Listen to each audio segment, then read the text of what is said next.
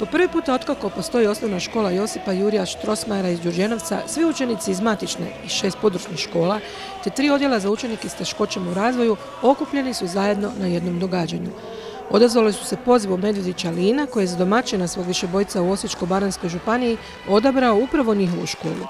Učinili su to s puno veselja koje je bilo vidljivo na svakom koraku.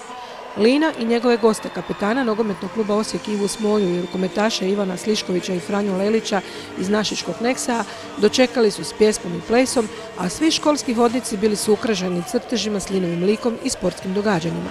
Nismo ih mogli točno izbrojati, ali smo uvjereni da ih je bilo više od tisuću.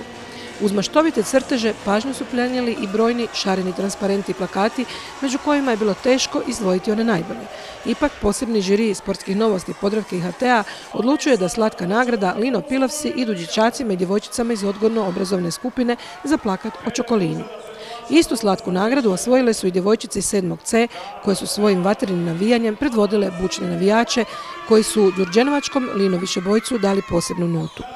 Atmosfera se dojmila iskusnog prvotimca rukometnog kluba Nekse Franju Lelića i novopečenog hrvatskog reprezentativca i člana juniorske reprezentacije koja se diče svjetskim zlatom Ivana Sliškovića.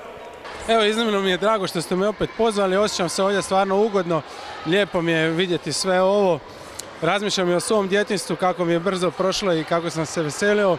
Također razmišljam i o sinu svom koji će vrlo brzo biti njihovih godina, koji će se ovako natjecati, sve u svemu jedna lijepa organizacija, lijepa priredba i ponosan sam što ste me pozvali. Ovo mi je prvi put i mogu reći stvarno da je zabavno i lijepo biti s malim, s malom djecom.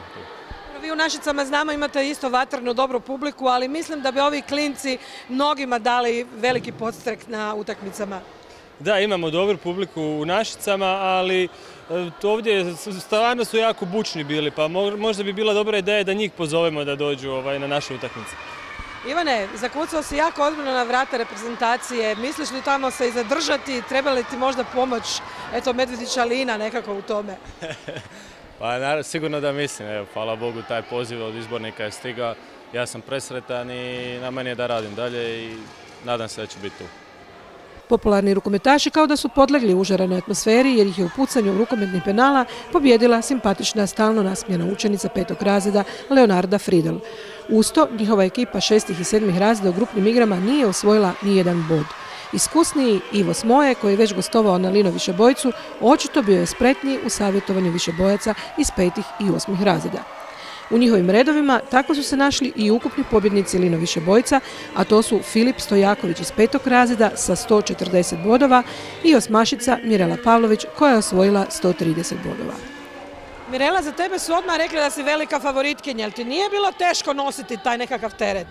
Pa nije, nije, zašto bi bilo. Se inače baviš sportom? Da. Pa bavim se i nogometom i rukometom ovako po školi tako. A ti, jesi ti neki iskusni sportaš ili? Pa ja igram nogomet i hobi mi je rukomet, malo sam ga trenirao. E, jeste stvarno računali na prva mjesta ili je ovo ipak ispalo slučajno? Ja nisam zato što kad sam vidjela da, nisam jedan, da sam sam jedan koš pogodila i da onaj skoku dalje, onda sam odmah onak mislila da nije, da nisam. I isto nisam mislila da će biti prvi, tu je bilo iz osmih razreda jačih dečki i eto.